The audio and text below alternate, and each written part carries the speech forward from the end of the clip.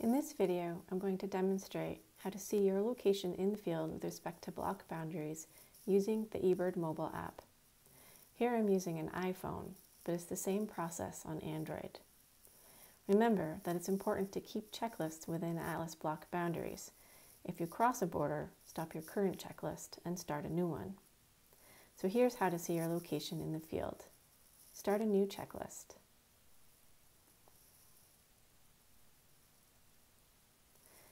On the checklist page, there are three sections across the top of the screen.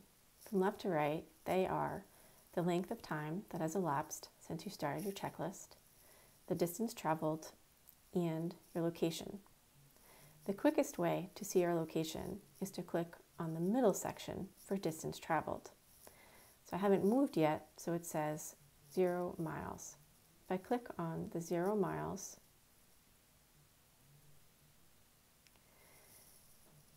A map displays showing my location as a green dot. If I had walked some, it would also show a blue line showing the path I traveled. So if I zoom out on the map, I can see the block boundaries outlined in white. To zoom out, I'm moving two fingers towards each other, towards each other on the screen.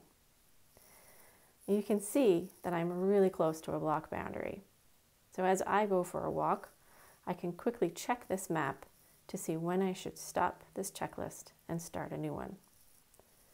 I can hit close to return to my checklist. And that's it. Note that the block boundaries only show up if you're in the Atlas portal and not when you're in Core eBird. See our other tutorials on how to set the portal in the mobile app.